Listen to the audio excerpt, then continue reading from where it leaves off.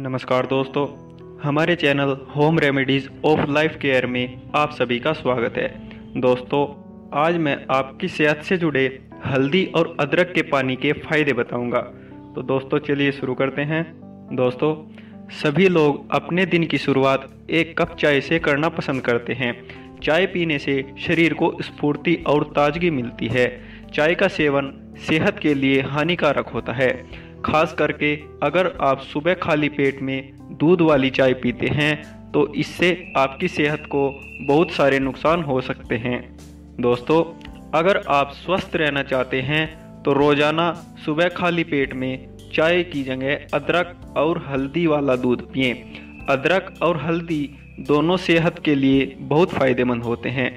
सुबह खाली पेट में अदरक और हल्दी का पानी पीने से सेहत से जुड़ी बहुत सारी समस्याएँ दूर हो सकती हैं। जैसे नंबर एक, अगर आपको पेट से जुड़ी समस्याएँ हैं तो रोज़ाना सुबह खाली पेट में अदरक और हल्दी का पानी पिए। ऐसा करने से आपका पेट हमेशा स्वस्थ रहेगा और कब्ज की समस्या भी दूर हो जाएगी। नंबर दो, आजकल ज़्यादातर लोग मोटापे की समस्या से परेशान हैं। मोटापे को कम करने के लिए अदरक और हल्दी का पानी बहुत फ़ायदेमंद होता है। हल्दी और अदरक में कुछ ऐसे गुण मौजूद होते हैं जो कैलोरी को कम करने में सक्षम होते हैं। नंबर तीन, शरीर की रोग प्रतिरोधक क्षमता को बढ़ाने के लिए रोज़ाना सुबह अदरक और हल्दी का पानी पिए।